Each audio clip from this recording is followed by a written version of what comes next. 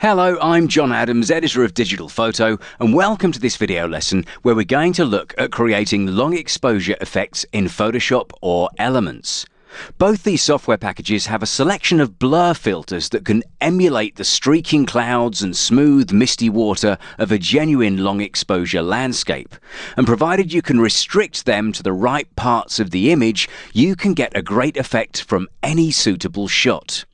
We've picked this sunset picture of Normanton Church at Rutland Water to demonstrate the technique, but you can use it on any picture with a great sky and an expanse of water to get a similar looking effect. Now, the original picture is great, with some wonderful colours and detail, but for a more ethereal look, we can turn it into this and send our clouds scudding across the sky and get our lake shimmering in an arty blur. The technique itself requires some selections, some layers, and some layer masks, but it's easy to do. So let's go back to our original picture and we'll get cracking. So once your landscape is opened up into Photoshop or Elements, the first thing you want to do is make a copy layer. Now that's really easy, just hit Ctrl and J on the keyboard. You won't see any change there, but if you go to Window and choose Layers to look at your Layers panel, you can see there we've got Layer 1 sitting above the background, and that's a carbon copy of the original picture. Now I'll just move my layers down and out the way a bit. What we're now going to do is pick up the quick selection tool because if we just blur this sky, we're going to blur the church alongside it and we'll blur this horizon as well. We want to blur just the parts that would be affected by a long exposure. So what I'm going to do is pick up the quick selection tool from the toolbox.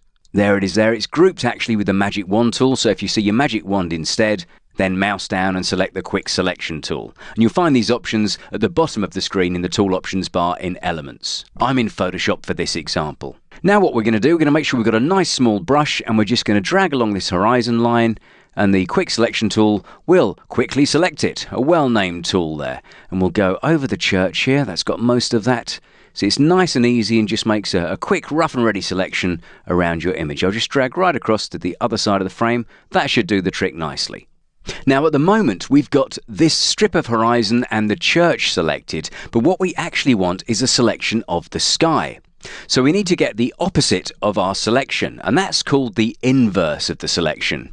Easy way to remember it is just to pop up to select and choose inverse, or if you want to remember the shortcut, it's Shift Control I, I for inverse, to help you remember it.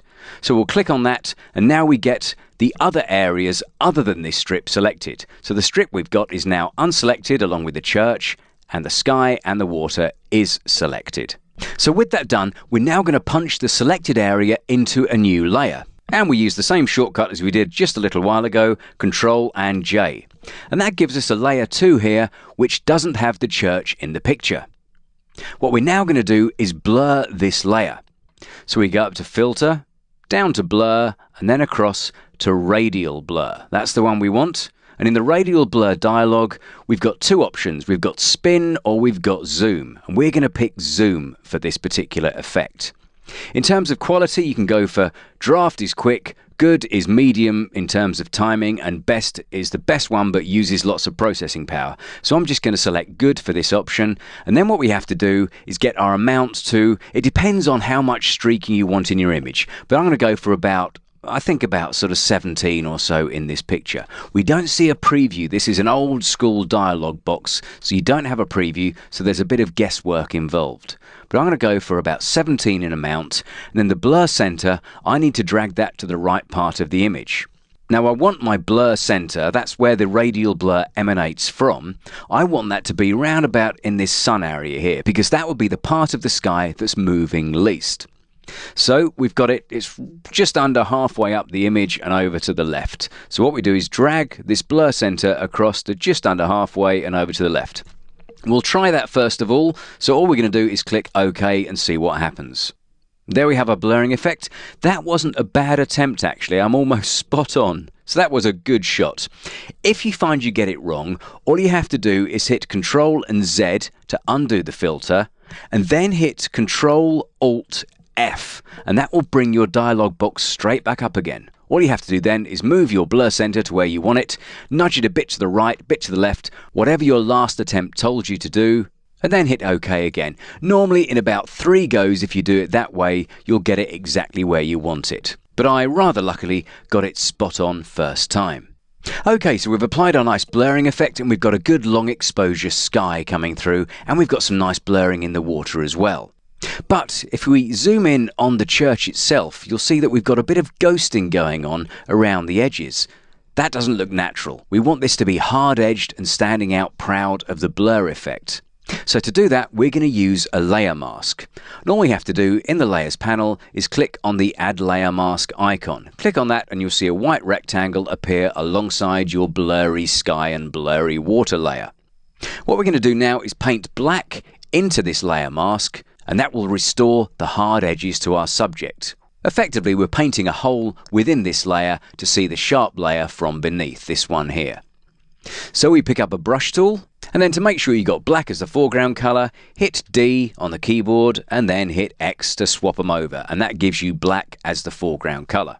We want a soft edge brush, and I can get a soft edge brush by holding shift and tapping the left square brackets key. Just keep on tapping it until you can tap no more, and that will give you the softest brush possible.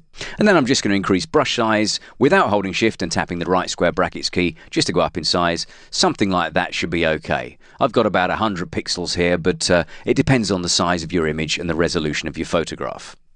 Once I've done that, I want to reduce the opacity of the brush to about 40%. Now to do that I can click on this drop down arrow here and move the opacity slider or alternatively I can just hit 4 on the keyboard and that will give me a quick 40%. Once I've done that I'm going to make sure the mask is active and you can see there there's a line around it. You can't paint into a mask if the layer thumbnail is active so make sure that mask is active. Then we just start painting away and we restore the hard edges to our church. So I'll just whip around the edge of the church. This is taking out the little bit of blur that's come across the image. There we go, we'll just paint across there. Then I can hold down the spacebar, scroll around and make sure I restore those hard edges and the full opacity to that part of the image. A little bit along the horizon as well. I'll whiz through here and just tidy up the edges. We're okay around there. A little bit of ghosting here. So I'll just paint over that and restore those edges. And now if I double click the hand tool, I'll go back to full screen, we can see we've got a nice solid church rather than that sort of slightly transparent edged church that we had before. Now this area here, we wouldn't have the blur running into shingle, that would be static, so that needs to be hard edged and clear as well. So we can carry on masking now, we've got our layer mask enabled, so we pick up our brush and simply keep on masking. I'll use a bigger brush now, there we go. And I'll still keep painting with a 40% opacity. We need to restore those hard edges. Now I need a smaller brush here, just to paint in around that edge. That's it. And now a bigger brush. I need to just feather the edge of this kind of a beach area to get a nice long exposure effect on the water, but a nice hard edge and a very clear edge to the shingle itself. So that's the kind of thing we just need to keep on working away with the brush. If it goes wrong and you go too far and perhaps go over this area here where you want some blurring, all you've got to do is swap to a white brush by hitting X on the keyboard and then you can paint back the blurring. There's the kind of thing. And before long you'll get a seamless blend that looks just like a long exposure. And that looks pretty good there. Okay, I'll just check that by zooming in because we've got to make sure we get a nice accurate job. And that's not bad at all. Maybe we'll get a bit more brushwork in here, smaller brush, and just make sure we've got the right kind of area selected. And that looks pretty good. That's got a nice long exposure effect. Now, if we come back to full screen by double clicking the hand tool, that's not a bad effect at all. But there's an extra step we can take just to spruce it up a little bit. At the moment, we've got this nice motion blur through the water, but it doesn't look quite natural. There's still a bit too much detail going on. If this was a true long exposure, all the ripples in the water would smooth out. So we can do that, and we'll just make another selection of the water. So we'll grab our freehand lasso tool, then all we're going to do is make a nice rough and ready selection all the way around the water. This is quite quick and easy to do, so we'll just go around the water, around the edge here, and all the way around the bottom of the picture, back up the side, and there's our water selected. Now to soften the edge of that selection, we're just going to click on the Refine Edge button, up in the Tool Options bar in Photoshop, and down in the Tool Options bar in Elements. Click on Refine Edge, and the only slider we need to worry about here is the Feather slider. You can see here we've got a hard edge around our selection. We need to soften that so we get a nicer blend. So we just nudge up the Feather slider bit by bit until we've got a nice soft edge. And I think that's a little bit too much at the moment, so I'm going to go for round about 30 pixels. Once you've done that, click OK, and that gives you a soft edge selection around that area you've just selected. Now that's done, what we want to do is punch this water area into a new layer. Now at the moment we've got a layer mask active, so we need to make sure the layer itself is active and then we can punch it in. So make sure you've clicked the mouse on the layer thumbnail and you've got this uh, border around this area rather than the mask. once you've done that, hit Control and J and you'll punch your water into a new layer. You can see it on its own if you want to. Switch off these other layers and you can see there, there's our water selection with a feathered edge. So we know we've got the right part of the image, now we'll switch our other layers back on again, and what we're going to do to this layer here is add some motion blur. We've already got zoom blur, but we want to smooth it out, so we'll go up to filter, down to blur, and across to motion blur. Now the motion blur dialog box allows you to add blur in a particular direction. Now our water is obviously level, so we want our angle to be horizontal, so we'll turn that around until we've got 0 degrees. Or if you can't get 0 degrees by fiddling about with it, just highlight the box and tap 0. Once we've done that, we need to establish how many pixels we want it to blur, and that's done in the distance box. And I think for this example, somewhere around 40 pixels will be okay. Now you can't see anything in the preview because we're on the wrong part of the image, but if we do click on a certain part, you can see here that's where our water is. You can target that anywhere you like and you'll see your water preview. It's at 100%, but you can always zoom back a bit by using these boxes here, minus and plus to go in and out, and that will show you how your blur effect is taking shape. And that doesn't look too bad there. I'll just click the preview on and off to see the difference. And yeah, you can see a subtle smoothing across the water's surface, and that's what I'm after. So about 40 pixels or thereabouts, click OK, and there we have a fabulous long exposure effect. You can see the difference between the before and the after. If we just switch off these layers here, we go back to our normal regular exposure with sharp water and sharp clouds, but by adding our blur effects, masking off the right parts of the image, we can get a wonderful long exposure effect really easily.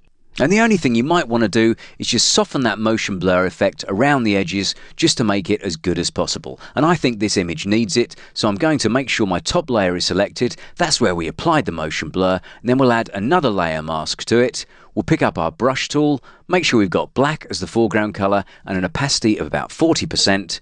Then I'll just increase brush size a bit and I'll just blend away that edge just to make sure it looks nice and natural and we get a good seamless join. That's the kind of thing. Just gently around the edge of the image, and I think that looks great. So with a quick selection and just a few layers and a bit of masking work, we can transform a scene into a great looking long exposure.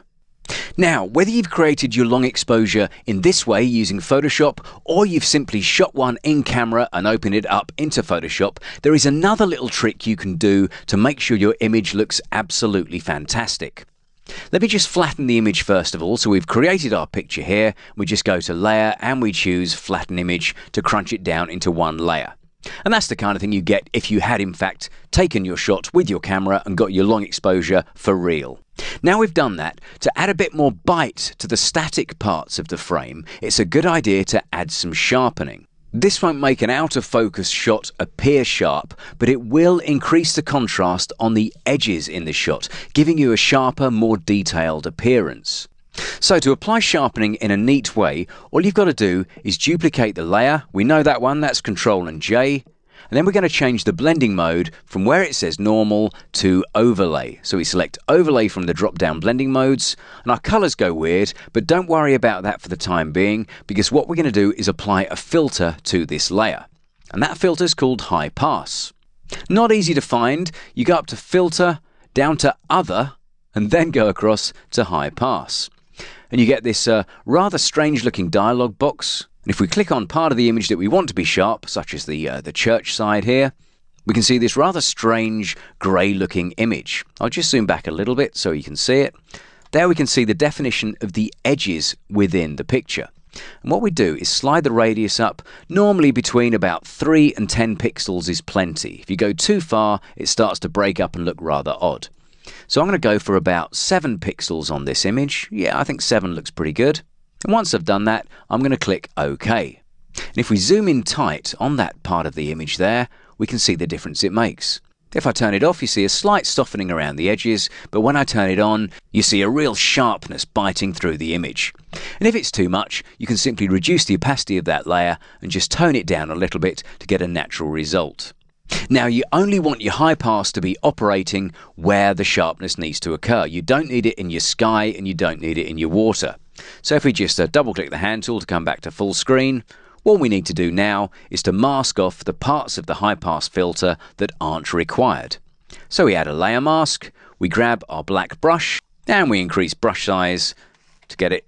There we go, a nice big brush. I'm going to increase the opacity now to 100% because I want full black to mask off these areas. And if I just move my layers palette out the way a bit, as I paint away, you can see black appearing within the layers, and that means we're getting rid of the effect of the high pass filter in those particular places. So I'll just paint round, around the water, there we go, and I'll paint all the way over the sky, we don't want any high pass going on there, and I'll just get it roughly around the church, that's the sort of thing, and in this bit of the sky here, so we make sure it's all gone. If you want to see your mask itself, just hold down the Alt key and click on the mask itself, and that will show you where your masking has occurred. You can actually paint in that mode as well to get rid of the mask where you don't want it. So that's a quick way of doing it. Hold down Alt and click on the mask again to see it return to normal. Right, so we'll now just zoom in on the church because that's the main area of detail. And we can use our brush, a smaller brush this time, perhaps with a lower opacity. I'll just drop it down to 40% and we can just paint around the edge to make sure we haven't got the high pass appearing where we don't want it to. That's the sort of thing. So you can work around the edges and just blend it in to make sure you get a nice, seamless result. And once it's all done, if we do zoom in again, you can see there, when we switch that high pass layer on and off, there's a big difference in sharpness all that edge contrast is really helping the image to pop. Okay, so that's an additional tip. No matter whether you use your camera for long exposures or you create one in Photoshop, adding that little bit of sharpening to your static elements in the frame will make them all the better. Alright then, enjoy creating your long exposures. And when you've made one you're really pleased with, remember to send it in to us at the magazine at dpimages at bauermedia.co.uk because we love to see the pictures you're creating. All right, thanks for watching, and I'll see you next time.